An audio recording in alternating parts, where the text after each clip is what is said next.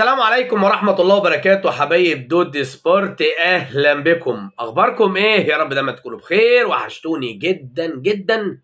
ونخش بينا على الحلقة علشان تكون حلقة اليوم فيها أخبار متنوعة في حلقة اليوم من ملعب الدودي سبورت.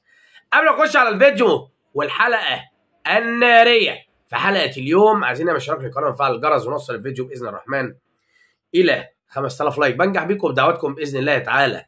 أكون دايما عند حسن ظنكم اللهم صل وسلم وزد وبارك على سيدنا محمد صلى الله عليه وسلم. اللهم ارحم شهداء فلسطين واليمن والسودان يا رب العالمين. وتوب علينا إنك أنت التواب الرحيم. ودعواتكم لي بالرحمة والمغفرة للوالد. وبإذن الله تعالى يكون كل شيء جميل بإذن الرحمن. النادي الأهلي مستمر في تمريناته استعدادا للقاء سيمبا التنزاني. يوم الجمعة إن شاء الله بإذن الله وزي ما وعدناكم وزي ما قلت لكم بنتمنى كل الأمنيات وكل الآراء بفوز النادي الأهلي على سيمبا وهيكون لقاء فعلا لقاء مثير لقاء صعب جدا جدا جدا ولقاء من العيار التقيل. النهارده تمرين النادي الأهلي الساعة 10 مساء على ملعب التتش قبل ما يسافر إن شاء الله بإذن الله يوم الأربعاء استعدادا للقاء الجمعة لقاء سيمبا في دوري الأبطال. وطبعا زي ما حضراتكم عارفين إن النادي الأهلي مستمر جدا جدا جدا في تمريناته. في بعض الاطمئنان على أحد المصابين اللي كانوا متصابين زي أسامة أبو علي وزي محمد كريستو وزي وزي وزي وزي. طبعا عايزين بعض الناس عايزة تطمن على إمام عاشور. إمام عاشور اجرى العملية النهارده والراجل خلاص بإذن الله تعالى بدل ما عمل العملية النهارده أكد الدكتور أحمد جاب الله طبيب النادي الأهلي علشان نطمن بعض جمهور النادي الأهلي وبعض الجماهير اللي على صفحة دودي سبورت. النهارده أكد وعمل العملية الحمد لله بنجاح وهياخد بالظبط من شهر شهر ونص بإذن الله تعالى. يعني إن شاء الله بإذن الله في خلال شهر ونص بإذن الرحمن يكون إمام عودة حميدة للملاعب مرة تانية. بعد البرنامج التأهيلي اللي هيشتغل عليه أو النظام اللي هيشتغل عليه الدكتور أحمد جاب الله اللي هيقول له عليه. وإن شاء الله بإذن الله بتمنى العودة الحميدة لإمام عاشور. طب يا كابتن دولي بالنسبة لأسامة أبو علي عايزين نطمن عليه ونتأكد على محمد كريستو ونتأكد على أحمد عبد القادر ونتأكد ونتأكد. لا ده النهارده في غضب من أحمد عبد القادر وغضب من محمد كريستو. وهقول لكم قال إيه وعاد إيه والدنيا إيه والكلام ده كله. هأكد لكم في حلقة اليوم. وطبعا عايزين نطمن على أسامة أبو علي جاهز وحسين الشحات جاهز وبعض اللعيبة كلها جاهزة. وطبعا شيء مؤكد ان النادي الأهلي بحد من غير أي حد النادي الأهلي اسمه النادي الأهلي اللي معود جماهيره على كل شيء حلو داخل الساحرة المستديرة.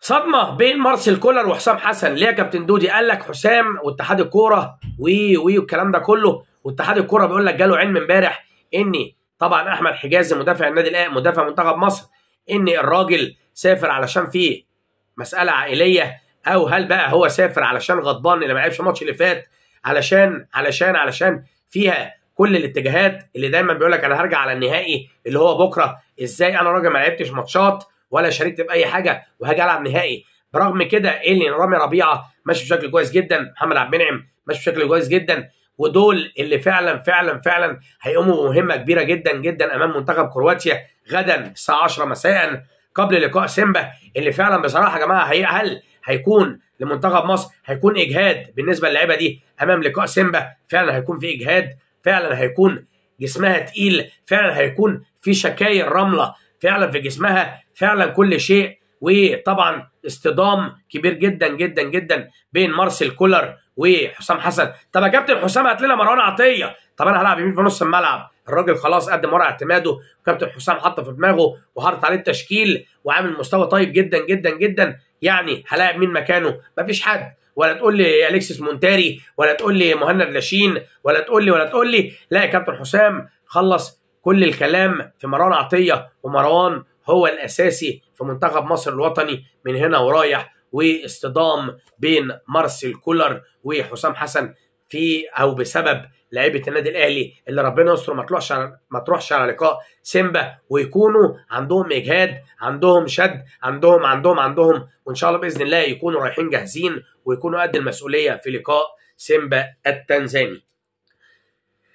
كابتن دودي كنا سامعين اللي وليد أزارو يقترب لنادي الزمالك. آه كان مسؤول نادي الزمالك بقياده كابتن أحمد سليمان ومع وكيل أعمال وليد أزارو وجوزيه جوميز. كان عارف الراجل لما كان بيلعب في نادي عدنان السعودي. وطبعا زي ما حضراتكم عارفين إن وليد أزارو من لعيبه كويسة جدا جدا جدا اللي تقدر تقدم كل شيء داخل نادي الزمالك. والراجل أو وليد مرحب جدا بالانضمام لنادي الزمالك. لكن النادي الأهلي قدر يتدخل في الحتة دي في الوقت القاتل بمعنى الكلمة علشان يخطف وليد أزارو من النادي من نادي الزمالك وبيقول لك بالبنت العريض العنوان الخطيب يخطف أزارو من لبيب.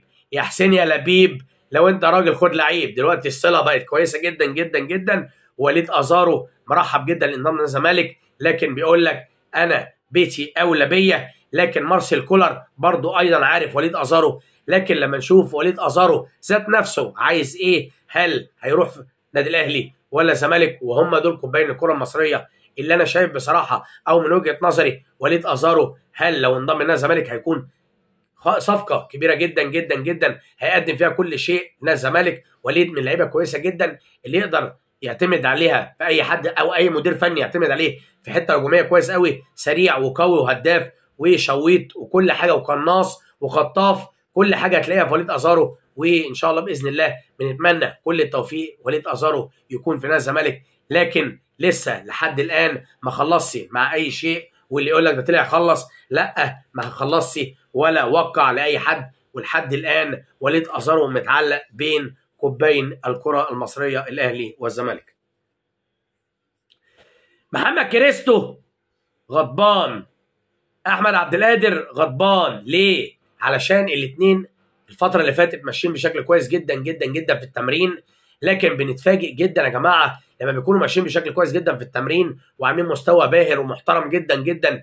نيجي نتفاجئ بيهم اللي يكونوا خارج القايمة في لقاء سيمبا التنزاني. ليه؟ هم عملوا إيه؟ سووا إيه؟ عملوا إيه؟ خربوا إيه؟ عمل كل الكلام ده. مارسيل كولر بيقضي على الثنائي دول واحدة واحدة بيموتهم بالبطيء. وأنا شايف بصراحة إن أحمد عبد القادر شكله هيرحل على النادي الأهلي ومحمد كريستو أيضا ممكن يرحل على النادي الأهلي لكن محمد كريستو جاي له عرضين كويسين جدا جدا جدا إذا كان من البنك الأهلي ولا زد لكن القيمة بتاعت محمد كريستو غالية جدا جدا. مفيش حد يقدر يدفعها في مصر كلها غير النادي الأهلي. مليون دولار يعني مليون دولار. حاجة كويسة جدا حاجة قيمة جدا جدا. وأنا بقول لك ان محمد كريستو هيكون إضافة قوية جدا إذا كان للبنك ولا الزد وأحمد عبد القادر أيضا صفقة محترمة جدا جدا. لما نشوف مارسيل كولر هيخلص عليه ولا هيوديه على فين ولا هيكون آخرته إيه؟ أحمد عبد القادر.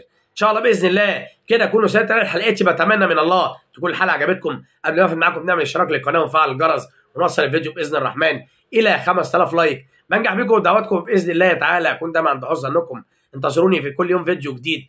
غدا في لقاء نهائي كأس العاصمة. مصر. مصر وكرواتيا بإذن الرحمن. نتمنى كل التوفيق لمنتخبنا الوطني بإذن الله تعالى. غدا بإذن الله تعالى. بشكركم في رعاية الله. والسلام عليكم ورحمة الله وبركاته